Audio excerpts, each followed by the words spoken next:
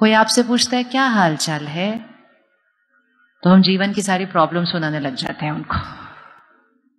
उन्होंने कहा था, क्या हाल चाल है? उन्होंने ये नहीं कहा था, आपके जीवन में क्या चल रहा है? They only asked you how are you आपका क्या हाल चाल है? आपने देखा, दो शब्द कनेक्टेड है, हाल और चाल। मतलब जैसा मेरा हाल होगा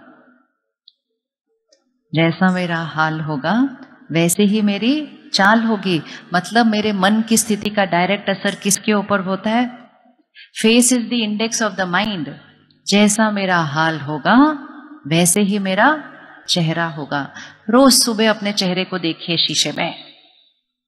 लेकिन चेहरे को देखकर ये नहीं देखिए, पिंपल आया कि नहीं, बाल वाइट हुआ कि नहीं। ट्रांजिएंट लेकिन चेहरे को देखकर ये चेक कीजिए। शांति है या चिंता है? अहंकार है या ह्यूमिलिटी है? ईगो है या प्योरिटी है? क्या दिखाई दे रहा है मेरे चेहरे पे आज? और अगर आप सुबह सुबह उठकर अपना चेहरा शीशे में देख लें तो आपको दिखाई देगा कि आपकी रात को आपकी मन की स्थिति कैसी थी कल। क्योंकि जो सारी रात यहाँ चलेगा ना, वो सुबह चेहरे पे दिखाई दे देगा। So face is the index of the mind उस फेस को अलग अलग चीज़ें लगा लगा के ढको मत। ये सारे मेकअप उतारो और अपने चेहरे को देखो और फिर उसको अंदर से चेंज करो। यहाँ चेंज करना है। ब्यूटी यहाँ है। परफेक्शन यहाँ है। तो हमारी हर सोच हमारी स्टेट ऑफ़ माइंड क्रिएट कर रही है, हमारी हर सोच हमारा चेहरा बना रही है, हमारी हर सोच हमारे शरीर की सेहत बना रही है, हमारी हर सोच हमारा रिश्ता बना रही है, हमारी हर सोच मेरे घर का वातावरण बना रही है, मेरी हर सोच लोगों पर प्रभाव डाल रही है प्लांट्स पर प्रभाव डाल रही है, मेरी हर सोच सृष्टि बना रही है और हम ऐसे ही इतना कुछ सोचते जाते हैं। So who is the creator of my thoughts who is the creator of my thoughts बोलो आए जब मैं बोलना चाहिए तो बोलना चाहिए मैं। बाकी बहुत जगह मैं बोलते हम। Who is the creator of my thought मैं। क्या हम एक डिफ़िकल्ट सिचुएशन में अच्छी थॉट क्रिएट कर सकते हैं?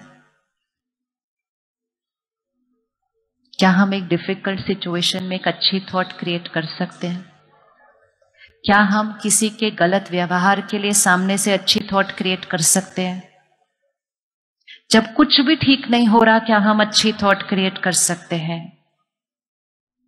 क्या कोई ऐसी सिचुएशन है जहाँ हम अच्छी थॉट नहीं क्रिएट कर सकते हैं? आपको पता है, राजयोग हमें क्या सिखाता है? और जो हम में से बहुतों ने इसका एक्सपीरियंस किया है, जो लाइफ की सबसे मुश्किल सिचुएशन होती है। और वो मुश्किल सिचुएशन होती है जब हमारे फैमिली मेंबर में से कोई अपनी जर्नी पर आगे जाता है। पिछले दो सालों में हमने बहुतों ने ये सिचुएशन को फेस किया है। और हमारा डीप रूटेड बिलीफ सिस्टम ये कहता है कि जब कोई आगे चला गया है तो how can I be normal after that रोना तो नॉर्मल है। किसी को मिस करना इज़ फाइन लेकिन उस सिचुएशन में भी हाई वाइब्रेशनल थॉट्स क्रिएट करना, ये हमारी पावर है। ये हमारी पावर है। हमारे पास माउंट आबू में एक बार एक बहन आई। फ़र्स्ट टाइम आई थी माउंट आबू हेडक्वार्टर फ्लोरिडा में रहती थी तब। और उसने पहली बार प्रोग्राम देखा टीवी पर। फ़र्स्ट एपिसोड फ़र्स्ट एपिसोड उसने वो देखा। एंड वो एपिसोड ये था कि जब कोई शरीर छोड़ता है तो वो आत्मा आपकी वाइब्रेशन कैच कर सकती है। अच्छे से सोचना उसके लिए और उसको दुआएँ देकर अपनी जर्नी पर आगे भेजना। अगर आप बार बार ये बोलेंगे कि आप कैसे चले गए, आपके बिना हम कैसे रहेंगे, आप वापस आ जाओ, आपके बिना मेरे जीवन जीने का इम्पॉसिबल अगर हम ऐसी थॉट्स क्रिएट करेंगे तो वो सारी थॉट्स उस आत्मा तक जाएगी और वो आत्मा पीछे की तरफ़ क्या होती जाएगी? खिंचती जाएगी। और अगर हम यहाँ से रोएँगे तो वो आत्मा जो माँ के गर्भ में प्रवेश कर चुकी है, वो वहाँ परेशान होगी, वो वहाँ दुखी होगी। हर एक जो मदर आज यहाँ बैठी है, अपने उस नौ महीने की जर्नी को याद करना। और अगर आपके पास दो बच्चे हैं और आप दो बार उस एक्सपीरियंस से गुजरे हैं, आप देखेंगे आपके दोनों बार का एक्सपीरियंस अलग अलग हुआ होगा। क्योंकि इट ऑल डिपेंड्स कौन सी आत्मा ने प्रवेश किया है और उस आत्मा का पीछे छूटा हुआ जो परिवार है वो कौन सी एनर्जी उसको भेज रहा है? जब वो आत्मा अंदर रोती है, आप अनकंफर्टेबल हो जाते हैं, आपको नौशिया होता है, आपका खाना खाने का मन नहीं करता, आप थ्रो अप कर देते हैं। और वो इसलिए रोते हैं क्योंकि जो वो परिवार को पीछे छोड़कर आया ना, वो रो रहा है वहाँ से और वो खींच खींच के उनको बुला रहा है, वापस आ जाओ, वापस आ जाओ, वापस आ जाओ। सो जो लाइफ की सबसे डिफ़िकल्ट सिचुएशन होती है तो वो बहन ने उस दिन कहा, मैंने उस दिन डिसाइड कर लिया कि अगर मेरे घर में कभी भी कोई आगे जाएगा ना, मैंने बिल्कुल सही सोचकर उसके लिए ब्लेसिंग्स और प्रेयर करके उसको आत्मा को आगे भेजना है। एक ही एपिसोड देखा, उसके बाद देखा भी नहीं उसने कुछ। लेकिन एग्जैक्टली वन वीक के बाद एग्जैक्ट सेवन डेज़ के बाद, उसने फ़ोन उठाया और उसको मैसेज मिला कि उसका बेटा जो फ्लोरिडा से इंडिया आया पढ़ने के लिए फ़्लाइट लिया, एयरपोर्ट से कार ली, कॉलेज की तरफ़ जा रहा था, लेकिन रास्ते में एक्सीडेंट हुआ and the child is no more and जैसे ही उसने वो सुना see the power of the mind why I am telling you this हमारे पास कितनी पावर है हर एक के पास? ये पावर हर एक के पास है.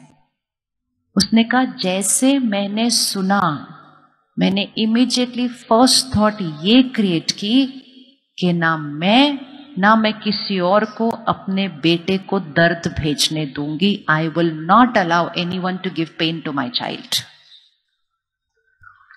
twenty year old child and फिर उसने क्या किया? वो तो कभी सेंटर गई नहीं थी, उसको पता भी नहीं था उसके शहर में सेंटर है, नहीं है शी डेंट नो एनीथिंग उसने इमीडिएटली फाइंड किया सेंटर से बहनों को बुलाया। घर में उनको कहा, आप हर रोज आओ और एक घंटा यहाँ मेडिटेशन करो। Make sure that my family members are right here क्यों? क्योंकि उसको क्लैरिटी हो गई थी कि उनकी वाइब्रेशंस उसके बच्चे की जर्नी को चेंज कर देगी आ गए एक बार आत्मा को अंडरस्टैंडिंग और रियलिटी आ जाए ना तो हमारे पास पावर बहुत है, क्योंकि हम शक्तिशाली आत्मा हैं। हम अपनी पावर को यूज़ नहीं कर रहे हैं और हम ऐसे ही सोच सोच के अपनी शक्ति को गवा देते हैं। तो जो हमारी लाइफ की सबसे डिफ़िकल्ट सिचुएशन होती है ना समवन मूविंग फॉरवर्ड उस सिचुएशन में ही सबसे अच्छा सोचने की ज़रूरत है। जिनके लिए हम जीते जी सब कुछ करने के लिए रेडी होते हैं जब वो आगे जाते हैं, उस समय उनके लिए करना और भी ज़रूरी होता है, क्योंकि उसके बाद उनकी एक नई डेस्टिनी शुरू हो रही है। उनको प्यार से भेजना है। मेरा क्या होगा नहीं सोचना है। उनको आगे कैसे भेजना है, ये सोचना है। मेरा क्या होगा इस अटैचमेंट उनको कैसे भेजना है इस प्यार? कौन सा संस्कार रखना है अटैचमेंट या लव कौन सा संस्कार रखना है अटैचमेंट या love last month I was in the you to see somebody and एक लड़की आई कहते मेरे पापा बहुत बीमार है, आप एक बार आके उनको ब्लेस करो। तो हम आईसीयू में उनके बेड की तरफ़ गए। क्रॉनिक कैंसर था। तो मैंने डॉक्टर से ऐसे अलग से धीरे से पूछा, मैं बोला, क्या? कहते, हमारी तरफ़ से इलाज इज़ ओवर कुछ नहीं हो सकता, बिल्कुल भी।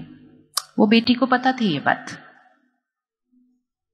शी केप्ट क्राइंग मैंने कहा, आप क्या थॉट क्रिएट कर रहे हो? See this is power of mind इसलिए वे टॉकिंग अबाउट इट ऐसे आप क्या थॉट क्रिएट कर रहे हो? कहते I am praying that he should be peaceful मैंने कहा, लेकिन पीसफुल कैसे? What is going to be the thought she sir आप बताओ, क्या थॉट क्रिएट करनी है? क्या थॉट क्रिएट करनी चाहिए उस टाइम आप बताओ, क्या थॉट क्रिएट करनी चाहिए उस टाइम आप बताओ, क्या थॉट क्रिएट करनी चाहिए उस टाइम नहीं? अच्छा हम रोज सीखते हैं, इसलिए हम सबके साथ शेयर करते हैं, क्योंकि खुद के अनुभव से करते हैं। तो हमने उसको कहा, आपको एक थॉट क्रिएट करनी चाहिए, जो उस आत्मा के लिए सही है, वो हो। ठीक है ये थॉट आपको ठीक लग रही है ये थॉट किस किस को ठीक लग रही है ये थॉट ठीक है ये थॉट इस थॉट को पकड़ के रखना और हर सिचुएशन में यूज़ करना। Not just in this kind of a situation any situation जो मेरे लिए सही है, वो ही हो। जो उस आत्मा के लिए सही है, वो ही हो। तो जैसे ही उसको बोला, ये बोलो कि जो उस आत्मा के लिए सही है, वो ही हो she looked at me she said are you trying to say he should go I said no I am not trying to say that I am just saying what is right for him should happen तो उसने बहुत मुश्किल से बोला और बोलते बोलते वो रोने लगी। मैंने बोला, चलो, उनसे बात करना शुरू करते हैं, वो सुन रहे हैं हमें। उसने उनका हाथ पकड़ा और जो मैं बोलती गई, वो उनको बोलती गई। तो क्या बोला हमने उनसे? हमने उनसे कहा, आप हमारी चिंता मत करना, हम अपना ध्यान रखेंगे। आप निश्चिंत होकर आगे जाइए। आपका ये कॉस्ट्यूम ना काम का नहीं रहा है अभी। आपका एक नया कॉस्ट्यूम रेडी हो रहा है वहाँ पर। आपको हमारे लिए यहाँ रहने की ज़रूरत नहीं है। आपको आपके लिए जो सही लगता है ना, आप वो करो। बस आप हमारे बारे में नहीं सोचना, आप अपने बारे में सोचो। वो रोती गई, लेकिन वो बोलती गई। उस शरीर में बैठी हुई आत्मा सुन रही होती है। Always remember the soul is listening and इतना अच्छा क्लैरिटी से वो लिसन करते हैं, जब वो एक्टिव होते हैं, वो भी उतना भी लिसन नहीं करते जितना हम उस स्थिति में लिसन करते हैं। बहुत दिनों से वो आईसीयू में थे। उस दिन उस परिवार ने डिसाइड किया कि हम इनको अब घर लेकर जाएँगे, घर पर ध्यान रखेंगे। जैसे ही सुबह उसने हाथ पकड़ के ये सब बोला, कुछ ही घंटों ने उस आत्मा ने शरीर छोड़ दिया जो बहुत दिनों से आईसीयू में थे और आगे नहीं जा रहे थे। और ऐसा एक नहीं, दो नहीं, दस नहीं, ये बहुत कॉमन है। वो आत्मा हमारे अटैचमेंट की वजह से खिंच के रुकी हुई होती है। जैसे हम उनको जाने के लिए बोलते हैं, जैसे ही हम उनको बोलते हैं, आप हमारे बारे में नहीं सोचो, आप अपने बारे में सोचो, आप आगे जाओ।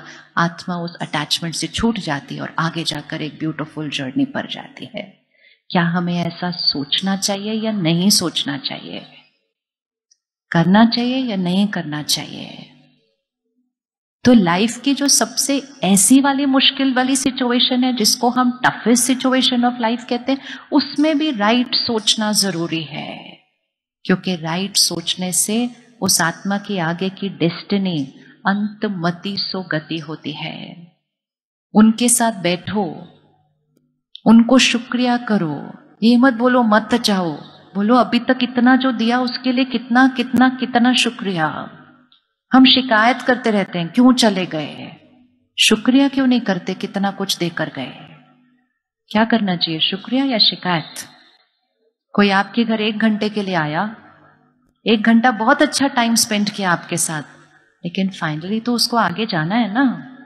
जब वो जा रहा है तो आप उसको शुक्रिया करके बोलेंगे, भेजेंगे या शिकायत करके? ऐसे कैसे आप जा रहे हो मुझे छोड़कर? सोच। ये सोच है। कोई भी ऐसी सिचुएशन है ही नहीं, जिसके अंदर हम हाईएस्ट वाइब्रेशनल प्योरेस्ट थॉट और सेल्फलेस थॉट नहीं क्रिएट कर सकते। ऐसी कोई सिचुएशन नहीं। खुद ऐसा जिए, दूसरों के साथ वैसा जिए। और जब कोई जाने के समय आए तो उनको प्यार से जाने दीजिए। एंड जब खुद का जाने का समय आए तो भी खुशी खुशी प्यार से आगे जाइए, ये जीवन जीने का तरीका होता है। लेकिन अगर जीते हुए भी खींच खींच तान में रहेंगे तो जाते समय भी खींच खींच तान में रहेंगे तो जब शरीर मुश्किल से छोड़ के आगे भी जाएँगे तो वही संस्कार खींच खींच तान तान का अपने साथ लेकर जाएँगे। तो फिर जीवन एक संघर्ष होता है। चल रहा है, खींच रहा है, चल रही है, ये जीवन नहीं है। जीवन कैसी होनी चाहिए? जीवन कैसी होनी चाहिए? तो परमात्मा कहते हैं, हाय हाय नहीं करना कभी भी, वाह वाह करना, हर सीन के लिए कहो, वाह, इसमें मेरे लिए कल्याण है, इसमें सबके लिए कल्याण है। हाय हाय करना बंद करना है, जितनी बार हाय हाय करते हैं तो उसका असर भी हमारे शरीर पर जाता है। कर सकते हैं वाह वाह हर सीन के अंदर? कर सकते हैं वाह वाह हर सीन के अंदर? कह सकते हैं कि हर सीन कल्याणकारी है? बोल सकते हैं या नहीं बोल सकते? आप इतना सीरियस क्यों हो गए? कोई नहीं जा रहा आज। कोई नहीं जा रहा है। लेकिन ये पता होना चाहिए। Art of dying is very important इसीलिए बचपन से सुना था अंत अंतमति सो गति अंत अंतमति बहुत सही होनी चाहिए। लेकिन अंत अंतमति पता है किस पे डिपेंडेंट होती है? पूरा जीवन मति कैसी थी? अंत में कौन सी चीज़ याद आ रही है? कुछ लोगों को चीज़ें याद आ रही होती हैं, कुछ को लोग याद आ रहे होते हैं। परमात्मा को याद करना चाहिए, लेकिन वही याद कर पाएगा जिसने सारी जीवन किया होगा। कुछ लोग तो कहते हैं, जाने से पहले मुझे ये खिला दो, फिर मैं जाऊँ। हाँ ऐसे भी लोग करते हैं। हर एक की अपनी चॉइस है। एवरीबडी इज़ राइट लेकिन अंत मति सो गति होती है। तो आर्ट ऑफ़ डाइंग हमेशा याद रखें कि हम कभी भी जा सकते हैं। कभी भी जा सकते हैं? किस किस को पता ही है कि हम कभी भी जा सकते हैं? गुड हर घड़ी जीवन को ऐसा जिए कि ये मेरी अंतिम घड़ी हो सकती है। क्या ये पॉसिबल है? आज हम यहाँ बाहर से निकले और फिर घर ना पहुँचे? क्या ये हो सकता है? हो सकता है। और अगर मैं आज यहाँ से निकलूं और घर न पहुंचूं, क्या मैंने शरीर छोड़ने से पहले अपने सारे कार्मिक अकाउंट ठीक कर लिए थे? गांठे खोल ली थी, शुक्रिया बोल दिया था फॉरगिव कर दिया था सॉरी मांग लिया था, किया मैंने, नहीं किया, मैं आत्मा ने शरीर छोड़ लिया, मेरे हिसाब किताब मेरे साथ जाएँगे। सपोज़ आज रात को दस बजे शरीर छोड़ना हो, डेढ़ घंटा पड़ा है, क्या करेंगे? डेढ़ घंटा आपके पास। You come to know ninety minutes before you have to leave क्या करेंगे उस नाइन्टी मिनट्स के अंदर? क्या करेंगे? सोचो, बहुतों को नाइन्टी मिनट्स भी नहीं मिलते हैं। रात को सो रहे हैं, सुबह उठ नहीं रहे। कभी जब ऐसे पता चले ना कि वो रात को सोए और सुबह उठे नहीं तो अपने आप को उस प्लेस में रखो, रात को अगर मैं झगड़ा करके सो गई, सुबह नहीं उठी।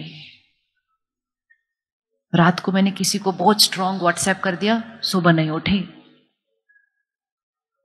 तो मेरा क्या कार्मिक अकाउंट बनेगा मुझात्मा का? मेरी अंतमति क्या होगी इसीलिए जीवन ऐसा जिए कि any moment can be my last moment so let every moment be perfect so if we leave we leave with ease and dignity कोई गांठे नहीं होनी चाहिए। जी सकते हैं ऐसा? चलो, एक मिनट आँख बंद करो। डेढ़ घंटा बचा है सिर्फ़। जिसको जिसको सॉरी बोलना है, अभी बोलो।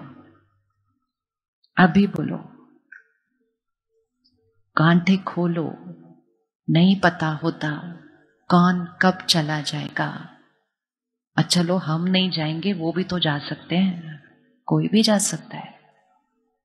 ये गांठें अगले शरीर में जाने के बाद बहुत कॉम्प्लिकेटेड हो जाती हैं, जो अभी ठीक करना बहुत इजी होती हैं। बातों को छोड़ो। क्या क्या पकड़ के रखा हुआ है। Travel light on this journey of life जो लाइट ट्रैवल करेंगे वही ईज के साथ आगे जा सकेंगे। रिलीज़ करो जो बात पकड़ के रखी है किसी के लिए भी। चाहे कुछ भी किया हो, उन्होंने, मैंने क्यों बोझ पकड़ के रखा हुआ है अपने ऊपर? वो जो कर रहे हैं, वो उनका कर्म, उनका परिणाम है।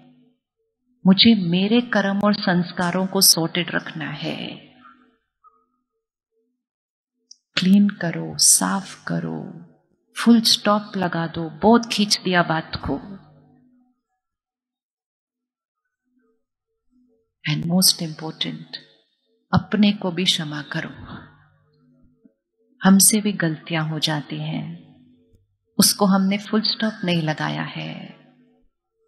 हमने अपने आप को फॉरगिव नहीं किया है। किसी कोने में उसको एक गिल्ट की तरह रख दिया है। इस कबर्ड को साफ़ करो। कभी भी मन रूपी कबर्ड को ऊपर ऊपर से साफ़ नहीं करना कोने कोने से साफ़ करना चाहिए। इसलिए दिवाली पर कोने कोने से सफ़ाई होती है, क्योंकि जब तक कोने कोने से सफ़ाई नहीं होगी, दिया नहीं जलेगा और लक्ष्मी जी नहीं आएँगी मतलब सत्युग नहीं आएगा, जब तक कोने कोने से सफ़ाई नहीं करेंगे। अपने आप को क्षमा करो। बोलो अपने आप से आई फॉरगिव यू खुद को बोलो आई फॉरगिव यू खुद को बोलो आई लव यू दूसरों से प्यार मांगते रहते हैं। दूसरे मुझे अप्रिशिएट करें, दूसरे मुझे अच्छा बोले, दूसरे मेरे साथ अच्छा व्यवहार करें। हमें सिर्फ़ एक की ज़रूरत है, जो हमसे अच्छा बोले, जो हमसे प्यार करे। One I need who is kind to me and that one is only me myself तो बोलो अपने आप से I love you I accept you I forgive you सफ़ाई हो जाएगी यहाँ से बहुत सारी। हर सीन में सिचुएशन में, इसमें मेरे लिए कल्याण है। मैं आत्मा हूँ, हर एक आत्मा है। आज यहाँ है, कल आगे अपनी जर्नी पर जाएँगे। हम सिर्फ़ एक शॉर्ट टाइम के लिए एक दूसरे के साथ हैं। हमें बिल्कुल पता नहीं है कब हम अलग हो जाएँगे। हमने क्या क्या पकड़ के रखा है।